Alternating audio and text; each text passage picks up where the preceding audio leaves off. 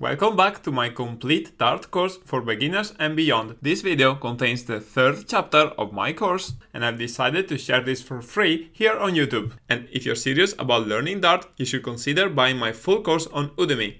This will include over 8 hours of content and comes with premium support as well as a complete reference ebook about Dart.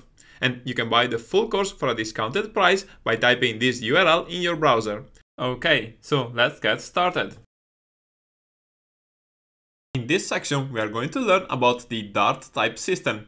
As part of this, we will learn what it means for a language to be statically or dynamically typed. And we will talk about type inference, which is a feature of the Dart language that helps you declare variables without having to specify their type explicitly. We will learn about the var, final, const, and dynamic keywords, what they mean, what their differences are, and when you should use each of them. So by the end of this section, you'll have a better understanding about the Dart type system and how to use it to your advantage. By the way, one big aspect of the Dart type system is nullability, which is about declaring and using variables that may or may not have a value. But we will cover nullability later on in this course, and for now we will focus on the type system. Okay, so let's get started. When we talk about programming languages, there is one important distinction that is often mentioned, and that is the difference between statically and dynamically typed languages. For example, languages like Swift, Kotlin, and Dart are statically typed, while languages like JavaScript and Python are dynamically typed. So, what does it mean for a language to be statically or dynamically typed? We can say that a language is static when types are checked at compile time, on the other hand, a language is dynamic if types are checked on the fly during execution. And just as a reminder, in order for our code to be executed, it needs to first be compiled for the target platform, and after it has been compiled, then it can run and produce our output, for example, by writing to the console.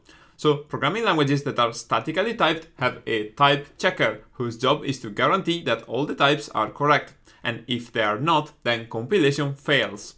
On the other hand, dynamically typed languages can only rely on runtime checks, and this means that any type-related errors can only be caught when the program is already running. So what does this mean in practice? Well, if we get back to the Dartpad editor, we can consider this simple example where we declare a string variable and then print it all in uppercase. And if we want, we can try to change the type of this variable to int. And as soon as we do this, we can see two errors telling us that a value of type string can't be assigned to a variable of type int and the method to uppercase isn't defined for the type int.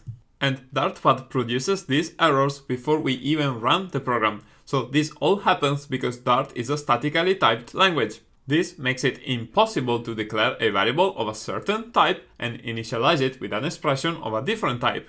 Likewise, it is also impossible to call a method that only works on objects of type string on a variable of type int. So let me restore this type to string and once you have declared a variable to be of a certain type, you can't reassign it with a value of a different type, like this. And this code will result in this error.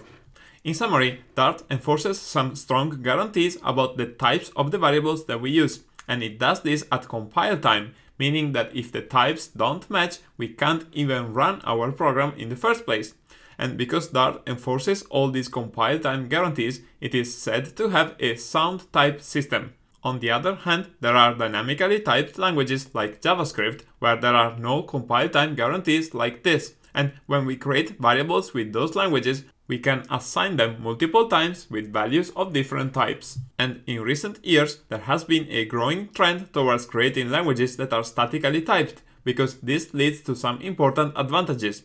First of all, we can discover type-related bugs at compile time, and this can save you hours of development time because it can be very tricky to find bugs at runtime, especially as your programs get bigger. Also, statically typed languages result in code that is more readable because you can rely on variables actually having the type that they were declared with. And the resulting code is more maintainable as well, because when you change something, the type system can warn you about other code that breaks as a result. And the generated code is also much more efficient because the compiler has more knowledge about types and can optimize things. Okay, so we should now have some understanding of what a statically typed language is. And we are going to continue on the next lesson where we will learn about type inference.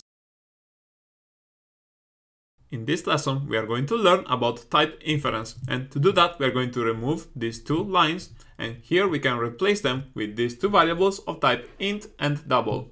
And what we said before is that Dart is a statically typed language. And one advantage of this is that Dart can infer the types of the variables that we declare.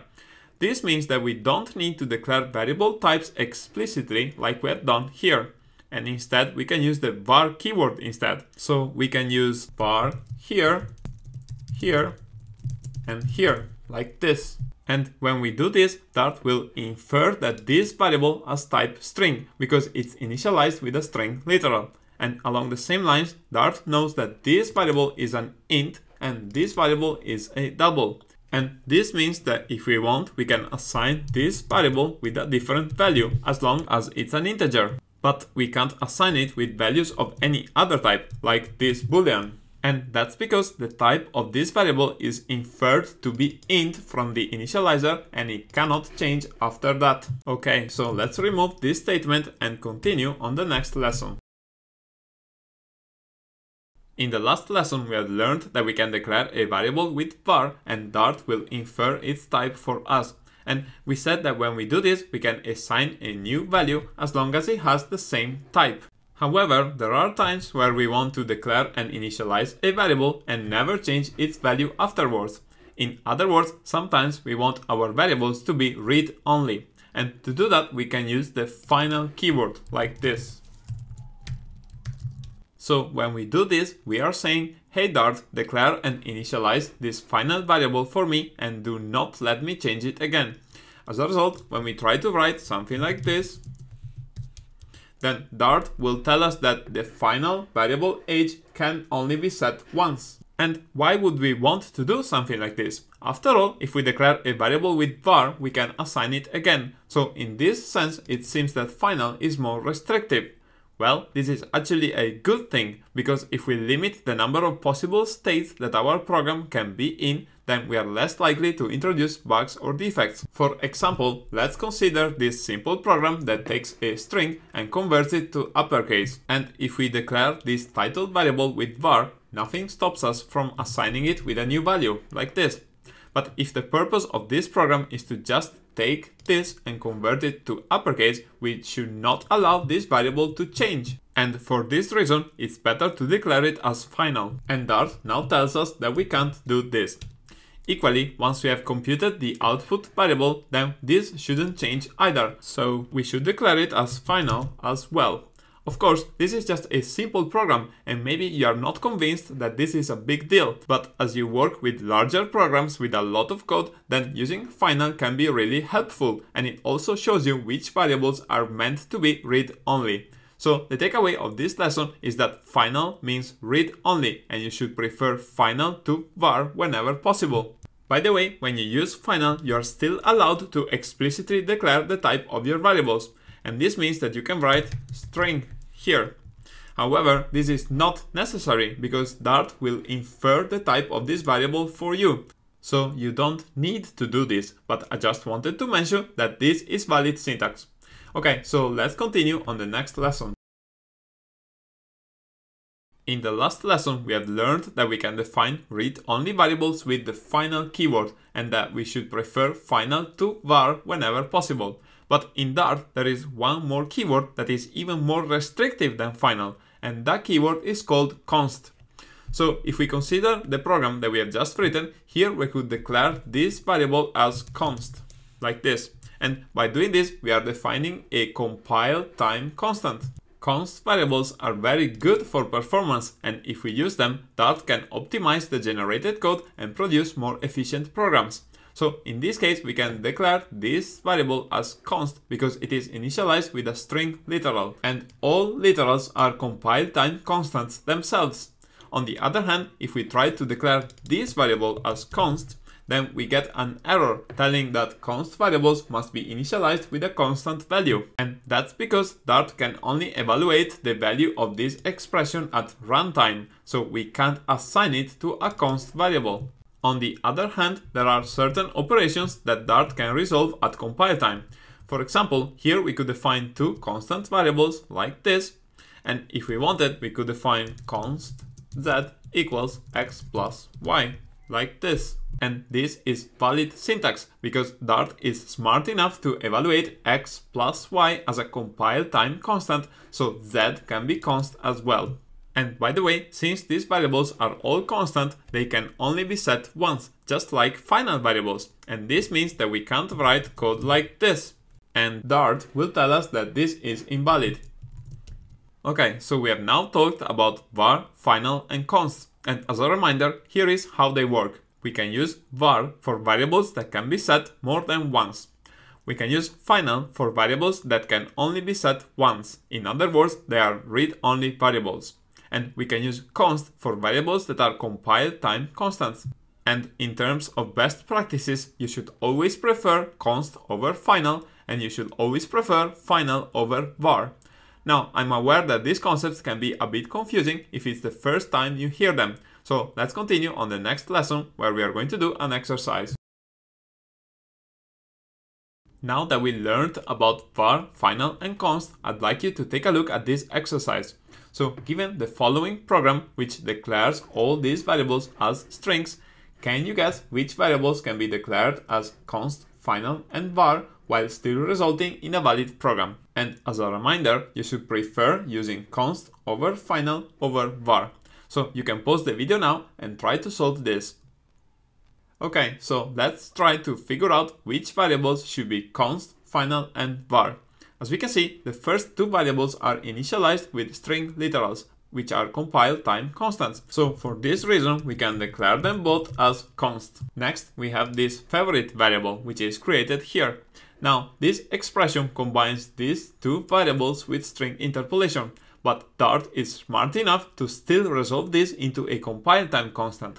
So if we wanted, we could try to declare this as const as well. But when we do this, we get an error saying that constant variables can't be assigned a value. And that's because we are assigning a new value to this variable on this line. So if we want this program to be valid, we have two options. The first one is to declare this variable as var, and this will make the error go away. But as we said before, it's better to prefer const when possible. So another option would be to create a new variable to hold this value. So here we could type const, and here we want to choose a different name for this variable. For example, we could call it new favorite, like this. And because this variable is now set only once, then it's okay to declare it as const. By the way, Dart is kind enough to tell us that this new variable that we have created is not used. And this is not something that was obvious before we converted this into a new variable. So while this is not an error, it's nice to know about it. Finally, here we have this new text variable, which is initialized with an expression that replaces pizza with pasta. Now, this expression is not a compile time constant, so we can't declare this variable as const, but since it's only set once, we can declare it as final, like this. So I hope that this exercise made it a bit clearer when we can use var, final and const. In any case, we'll be using these keywords extensively as we make progress with the course, so don't worry if something is not clear and we'll get back to these concepts again. In the previous lessons, we have seen that Dart can infer the types of our variables if we declare them as var, final, and const. However, there is one more keyword that we should be aware of. This keyword is called dynamic, and dynamic is a way to opt out of the type safety features of the Dart language. So how does dynamic work? Well, let's consider this example. Over here, I can type var x equals 10, and then I can add x equals true. Now, as we know, this is invalid syntax because Dart has inferred this variable to be of type int, and so we can't assign it with a value of type bool. However, here we could declare dynamic y equals 10, and this time if we type y equals true, then we don't get an error on this line, And that's because once we declare a variable as dynamic, it can take values of any type. In other words, when we declare a variable as dynamic, what we are saying is, hey Dart, I know what I'm doing and I really want this variable to take values of any type. And in general, this is not a good idea because type safety helps us to write programs that are safer. But there are situations where we can't avoid using dynamic. One example of this is when we work with data in JSON format, which looks like this, and the values inside our JSON data can be of different types. So when we read this data into a Dart program, we may need to use dynamic. Now, I can't give you a full explanation about working with JSON at this stage because we first need to talk about collections in Dart.